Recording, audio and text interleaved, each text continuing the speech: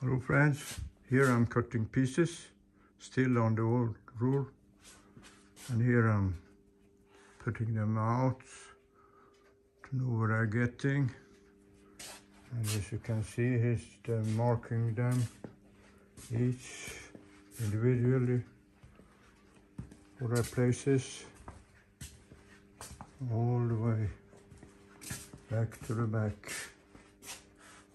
So this is work for today.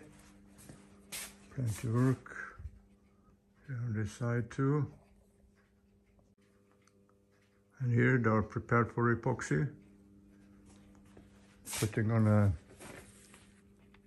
thin piece of foil that they can transport them easily over the place. Oh, there are some short pieces, a brush.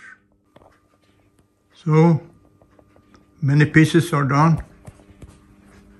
And now it looks good. The peel ply is on. And even here between, I put some extra just to be sure. And then, well, we will see what's happening next. So, a good thing.